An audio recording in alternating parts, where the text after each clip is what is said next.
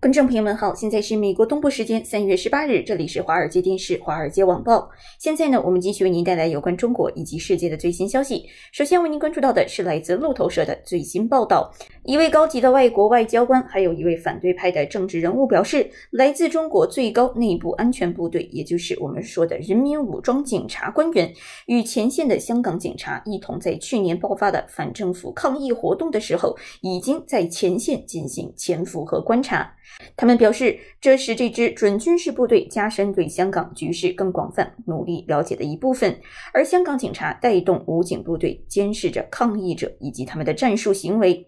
资深的民主党议员涂谨申对路透社表示：“我知道香港警察在抗议期间将中国的安全部队带到了前线，他们显然是在担任观察员。”而外国的外交官要求匿名，由于对安全问题发表评论的敏感性而拒绝透露姓名。他还表示，武警陪同香港警察到前线。中国国防部在回答路透社的提问时说，人民武警没有在香港驻扎。而香港的警方发言人表示，他们强调，大陆执法机构的任何成员都不会进行这种访问或者观察。不过，这位外交官还有其他三位外国使节估计，中国政府已经将准军事武警在香港的人员增加到了四千人，远远超过了以前的估计。他们的评估是基于对于安全部队去年六月开始的民主抗议活动的严格审查而得出的。而抗议活动于去年六月开始，但是由于现在持续的健康危机，今年有退潮的迹象。路透社此前九月报道说，随着香港政府努力遏制日益加剧的政治动荡，去年中国安全部队悄悄进入香港的基地，其中就包括人数不详的人民武警。而快速现代化的人民武警是大陆的核心准军事力量和抗暴组织，与中国人民解放军分开运作。在二零一八年的军事改革中，人民武警和人民解放军均受到中国国家主席习近平的最终指挥，而习近平是中国共产党中央军事委员会的最高领导人。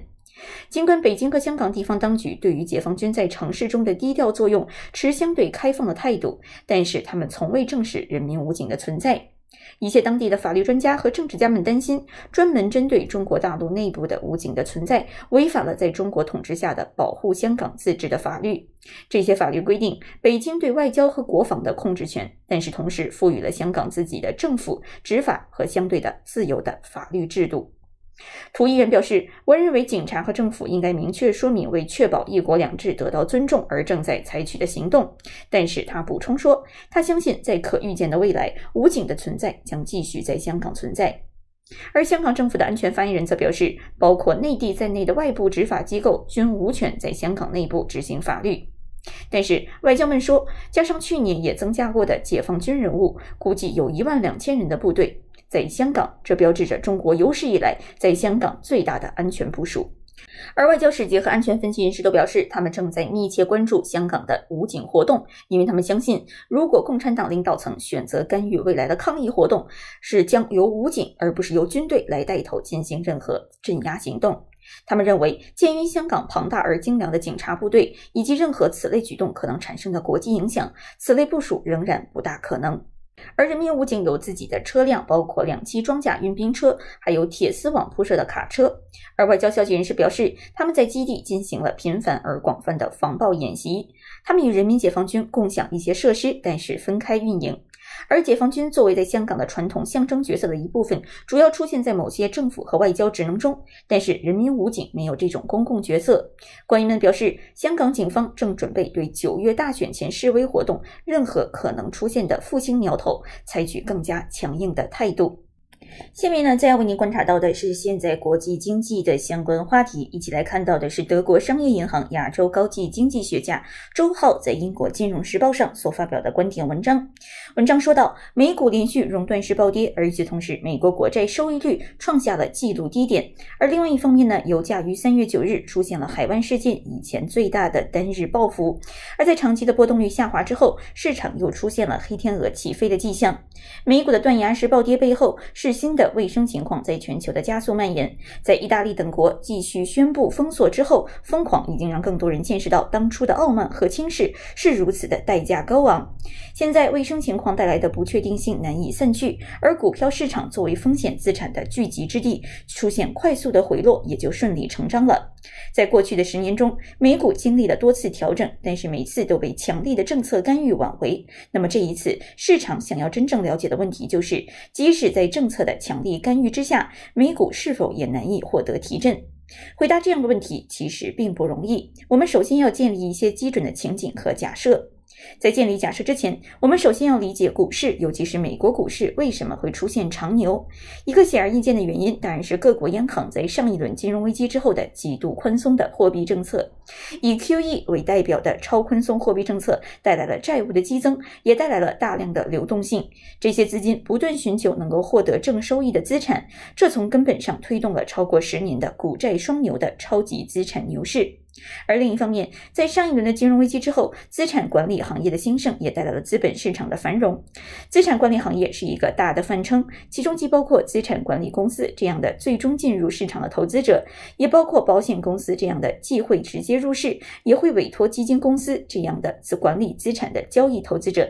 同时也包括以私人银行为代表的投资者网络，他们直接接触所谓的高净值人群，为其委托理财。这样一个有层次的网络，也体现了整个行业的欣欣向荣。而到二零一八年，相关资产管理公司的总体资产规模超过了七十万亿美元，而二零零九年底大概是二十五万亿美元。在十年间的时间里，资产管理规模伴随着股票市场增长将近两倍，而与此对应的，则是金融行业，尤其是银行业的日渐衰落。财富效应当然是其增长的根本动力，但另外一方面，相对较为宽松的金融监管以及非常低的利率环境，也是不得不提的繁荣因素。在整个过程中，有一个值得关注的现象是被动投资风格的兴起。以 ETF 投资为代表的被动投资风格，在过去的数年中大行其道，打败了所有其他的投资风格。而被动投资风格通常来说就是盯着市场，与各种不同的主动选股流派不同，被动投资基本上认准板块和公司规模，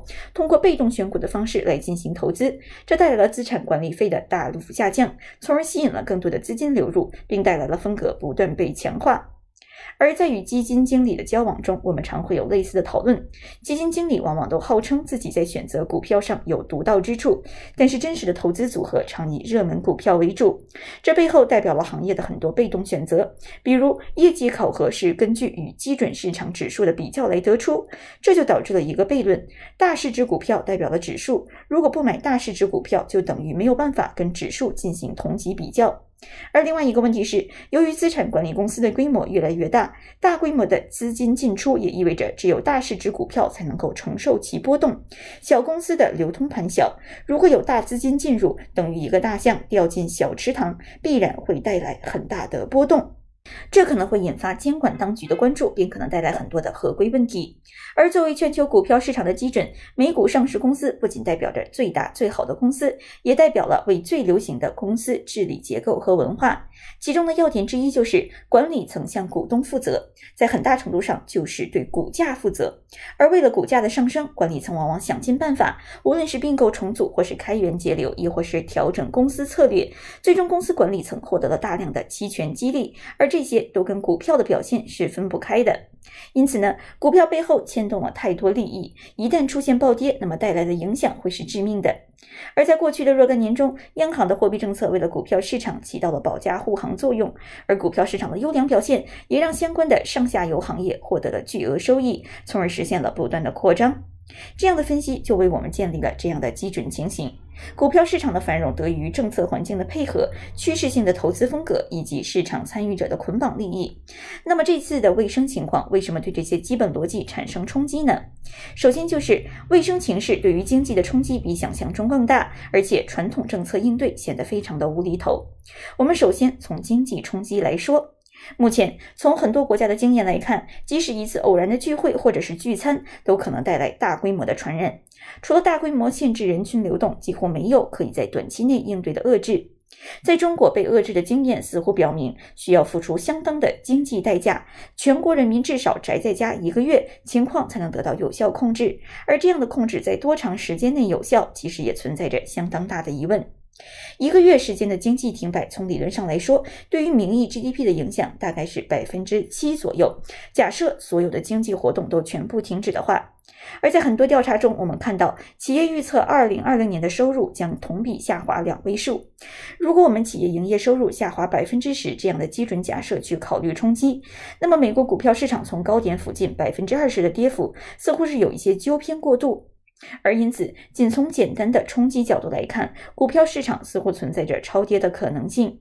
但是在现实情况中，各国处理方式不尽相同，同时缺乏国际协同，而且各国的风险等级也不一样。这意味着，即使理论上存在着有效处理方式，但是执行起来也面临着各种各样的困难。这意味着，对于全球经济的影响至少会持续到下半年，甚至不排除跨年度的可能性。此外呢，服务行业面临着巨大的压力，而服务业的就业人口非常多，整体影响时间长、范围广，就可能对于普通的居民对于未来收入造成担忧和影响，从而进一步影响整体消费和企业营收。总体而言，在这样风险的笼罩下，各国前景都面临着相当的不确定性。目前去评估经济影响其实并不成熟，而这样的不确定性是导致美股下跌的首要原因。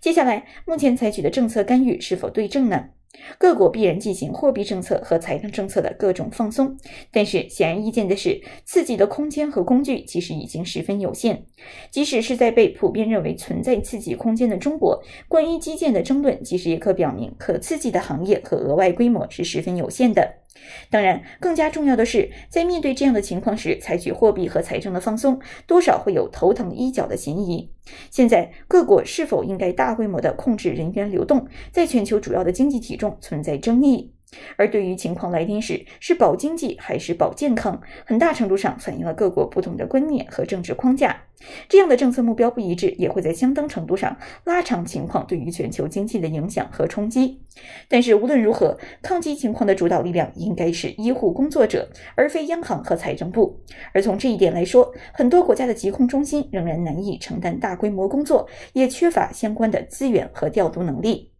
退一步来说，即使政策可以更放松，但是留给市场的想象空间也是十分有限的。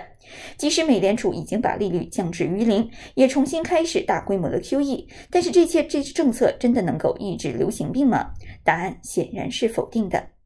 好了，以上就是本期的华尔街电视与华尔街网报的主要内容，希望你继续关注华尔街电视的其他节目。